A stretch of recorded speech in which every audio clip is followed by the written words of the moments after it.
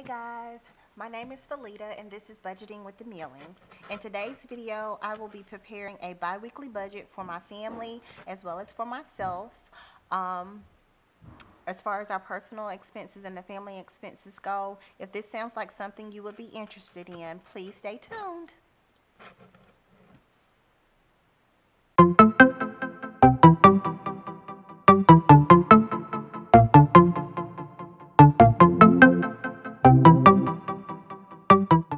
Guys, I'm going to try not to make this video extremely long. We'll start with our family expenses and what we expect to receive as well as what we expect to pay. Um, I'm hoping you guys can see this okay. Um, so we'll just jump right in. Um, we have a combined income of twenty-one thirty-eight. We have a rollover of eight hundred and twenty-six dollars, which is giving us a total income of twenty-nine sixty-four. Um, the items that are listed in the bill section are items that are either, um, they come out through bill pay or that, um, I just don't stuff, like, I don't take out cash from the bank to pay these bills. It's our mortgage, which is ten, um, I'm sorry, one thousand eleven, our power, which is hundred and forty-five, our life insurance, which is eighty, our spectrum bill, um, which is our cable, that's seventy-eight, and our spire, which is our cable, is also seventy-eight. We have ADT, which is our home security, which is thirty-three, and then a storage bill for my daughter, which is thirty-five. So all of that combined gives us a total of fourteen hundred sixty dollars. So we'll have fifteen hundred and four dollars left. Now from that fifteen oh four, we'll have grocery, which is hundred and fifty, I budget hundred and fifty for that. Household expenses, which is forty. Medical, um, which is my daughter's braces, that's eighty-three. Let me make sure you guys can see that okay. Um, and then we have tuition for my daughter Morgan. She'll be going off to college next year, so we're trying to start saving for that. We have Wayne's, which is $11, which is our pest control, our tags, which is $34, car maintenance, which is 40, HOA, which is 15. Uh, Gracie, which is our dog, she gets ten dollars, and then we have emergency, which we're trying to build that back up at twenty-five dollars. So that comes to a total of four hundred and fifty-eight dollars. So that's leaving us a balance of one thousand forty-six dollars. One thing that I did want to point out to you guys as far as like our bills, I mentioned this, um, I think a couple of weeks ago when I did our budget, our first January budget, and how I was telling you guys that my husband is military and, um, well, he's, he's a reservist. Um, but whenever he goes on an extended leave or a leave, his pay sometimes does not line up with his nine to five pay. So what we started doing was trying to pay ahead. And for us, paying ahead basically meant that we, um, like, just say for instance, um, our Spire bill, which I actually have one here to show you guys in just a second. Um, if the bill is just say $150 a month, I paid that 150 and I also paid an additional 150 which put us ahead for one month.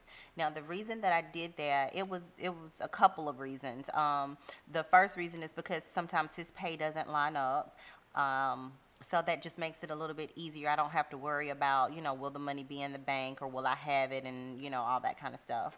Um, and then the second time, or the second reason, is because um, I sometimes don't pay, you know, even though I have the best intentions of saying, okay, we get paid on Friday, I'm going to pay bills on Friday or, you know, Saturday. Uh, sometimes I just don't. You know, just a couple of weeks back, I was, you know, I was sick, so I just didn't feel like doing it. I didn't feel like going to the bank. I didn't feel like, you know, paying bills. So that kind of helps me. It gives me like that extra cushion.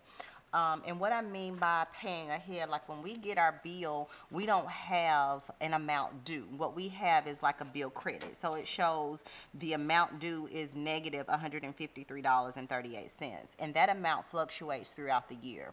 I pay $78 every time we get paid, regardless of whether we owe something or not. And every time we get our bill, we actually have a, a credit on our bill. So that's how we one of the ways that we pay ahead. Now we do that on, you know, all of our utilities and things.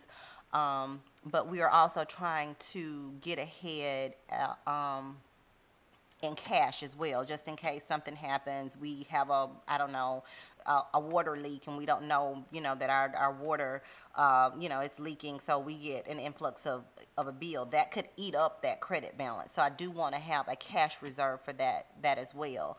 So um, I guess my question to you guys is, you know, how are you guys paying ahead? You know, what are some of the things that you're doing? Do you do the cash stuffing method? Um, do you do something similar to what I'm doing where I, I pay, you know, the actual utility companies and have an actual credit balance on their books? Are you are you doing something that's completely different or maybe a combination of, of what I'm doing and, and, you know, and something else.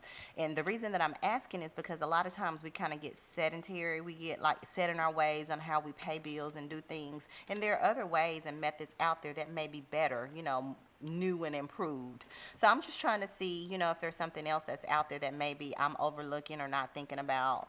Um, so if you guys have any of that, uh, please drop it in the comment section below because um, I'm sure there are other people out there that's wondering and kind of thinking the same thing. So back to the budget.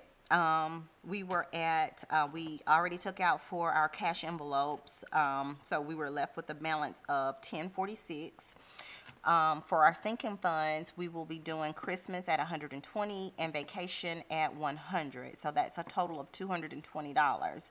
So at that point, we'll have um, $826 left. We don't take anything out for savings or uh, debit through the family expenses. Um, so that would leave our income of the 2964 bill amount of 1460 cash envelopes of 458 sinking funds of 220 no savings and no debt so that will leave us a remaining balance of $826 and i do try to leave a rollover on this account on on all of our accounts actually because i don't ever know when we're going to have some expenses.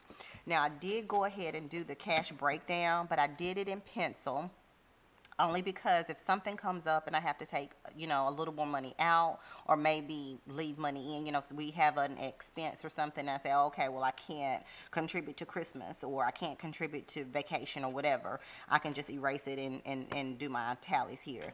But basically, groceries getting 150 and what I do with grocery, instead of doing the highest denominations, I typically do 150 and 520s just in case I just need to go pick up a couple of items. I'll have a small bill to work with. Just take a 20. Um, for household, it'll be two 20s. For medical, it's um, 83, so I'll do a 50, a 20, a 10, and three ones. Tuition is 150. Wayne's, which is 11, is getting a 10 and a 1. Tags is getting um, a 20, a 10, and four ones. And you guys, you know, I, I think this is kind of pretty self-explanatory on this. I'm not going to go through the whole thing, but basically I just do the highest denominations for all of these unless it's something specific that I have to have smaller bills for, like just say um, grocery. And then I add all of those denominations up and I tally those and and I'll get the, you know, the money amount that I have to take to the bank. So that would be our family budget. So if something changes, then I'll come back and I'll show you under the actual column what we either took out or didn't take out or whatever. So moving on to personal.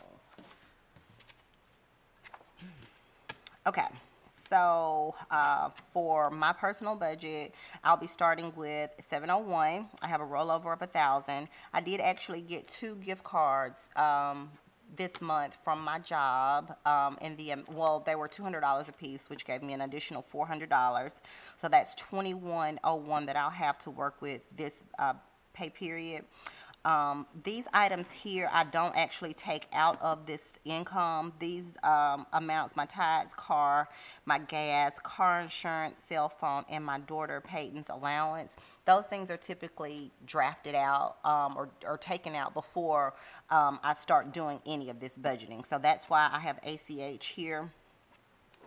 Um, let's see, for my cash envelopes, we'll have uh, self-care, and I put self-car, self-care, which is $10. Spending will get $10. MJ allowance, which is my son, he'll get $12. So that's a total of $32 for our uh, cash envelopes. So that will leave um, $2,069. Um, so for my sinking funds, we have my business, which is ten dollars, and just one quick little thing. Most of you already know that I will be launching a candle company in the very near future. This week was so much fun for me, guys. We actually got a lot of different fragrances in, and I have been trying to decide on fragrances. So if you guys have any special or um, I guess uh, any scents that you guys like, link it below so that I can kind of, you know, try those and just kind of see. I love blending fragrances. All of our fragrances will be custom blends. Um, let's see. I do have a couple of videos coming out on that channel this week as well. It's Seasons Candle Call. So if y'all get tired of watching people count money and doing budgeting, y'all can hop over there and watch a couple of videos. Um, but again, um, it's Seasons Candle Call, and you guys can send me, you know, some examples of what you like. Um, I think I'm going to do something kind of special too. Um, maybe get you guys to kind of sample some of my, my fragrances. So if that's something you guys would want to do, also, you know, link a me too in the, in the um, description below so that I can know. Um, but anyway, I'll talk about that a little bit later on. Um, date night will be getting 10. Challenges will be getting 417. And I'm gonna just let y'all know that 417, it might not happen. I don't know. That's that that's a lot. I am doing my best to try to stay within my budget so that I can make sure that I meet all of these numbers. Um, but um, and in order for me to you know to meet it i, I know that 417 i'll have to try to, to do that but gifts um, we have uh, it getting eight dollars uh, debts will be 25. So sinking funds will be a total of $470 this pay period, which will leave a balance of $15.99. Um, again, the 401k and my Roth IRA, those are items that um, they automatically come out. So before I even start any of this, it's already out. So that's why I have ACH. Um, moving on to debts. You guys know I did pay out one credit card last week or well, I guess it was last week, week before last. So the two cards that I have left is my Ollo, and I don't really know what the amount. I'm just guesstimating on this, uh, $90, and then American Express is $50. And I know you're probably wondering why did it, the Ollo go up to $90. My husband had a total of about 10 pair of shoes delivered here um, within the last two weeks, and this is the card that it's billed to he is actually on a military leave. Um, so he can't list any of those shoes. Typically what happens is he'll purchase them on the credit card, he'll list them, sell them, and then we'll immediately pay out the credit card. But since he's away, he can't do his product photography to list them. Um, but he do have like some of his regular people that buys from him. So he has sent me some money. So I will be updating um, you guys on that as well. But for right now, what we're doing is doing 90, which I know will probably be the minimum, and then American Express at 50. So that's giving us a total of 140. So the amount that we'll have left over is 1459. And then for um, just the summary or the breakdown, we're starting with our income of 2101 and our uh, bill amount, which is ACH. Uh, cash envelopes is 32. Sinking funds is 470. Savings, um, that's through ACH, so we don't put anything there. Debts 140, which is going to give us a remaining balance of 1459. Um, and one thing that I did want to say is this balance, I will probably be pulling from this balance to pay out um, additional debt uh, you know, one of these credit cards starting February. So once I see, you know, exactly what will be left um, is what I'll apply to one of these credit cards. So, um, but I'll go over that, you know, at that time. Again, um, this is the cash breakdown. I'm not going to go over all of this. I did not tally this up um, only because I, and I'll link it um, in the, the cards. Um, with challenges, it was a challenge for me to try to figure out what denominations each person gave me because as you know, some of our challenges are family challenges. I have challenges that I do with my husband. Um, and then I also have like my personal um, challenges. So I may choose the highest denominations, but somebody else that, you know, is paying, you know, their portion of the challenge for that week, they may not do that. So I did not put the denominations for that. And sometimes they cash out me the money, so I have to go to the bank and get the money. So I'll wait until I have all those funds before I actually add that here. I did do this in pencil as well. And for the same reason, just in case something happens or changes, you know, I could have an expense. I'll just, you know, make the adjustments as needed. So, um, that is pretty much um, all that I have for this video.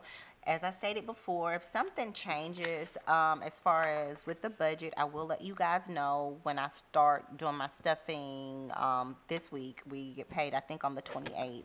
So I'll let you guys know. So, um, thanks to all that stayed until the end. Please consider subscribing, hit the like button, and leave a comment. I do try to respond to everyone, and I hope you all have a great week.